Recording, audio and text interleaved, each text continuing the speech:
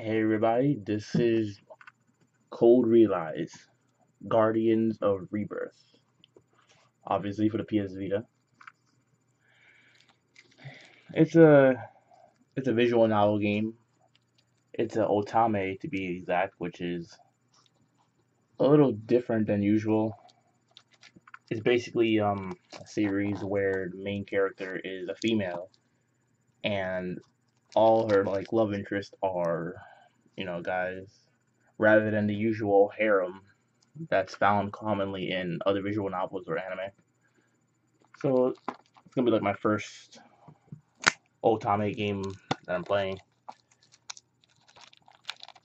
But I like visual novels, and there was not many for Vita, so time to give it a try, right? This came out in um like came out in North America in October 2015, so just a few months ago. I just picked it up recently. I had some other games I wanted to play first, and I was not entirely sure about getting this one, so I waited a little while.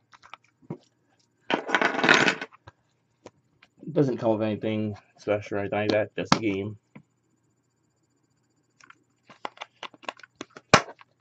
As you can see on the back, it has the characters. No, those are gonna be the the guys. And then up front you see which looks to be the heroine of the story and one of the uh, five like love interest or whatever.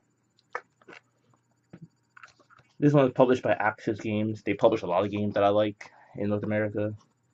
They do a lot of the publishing for um, translating and whatnot. Developed by Otomate, the company, which is a sub subsidiary of uh, Idea Factory. It's hard to see, but it's right there. All the companies listed. And uh, I'm pretty much gonna jump right into it uh, pretty soon and check it out. So, uh, anyways, that's it. Thanks for watching.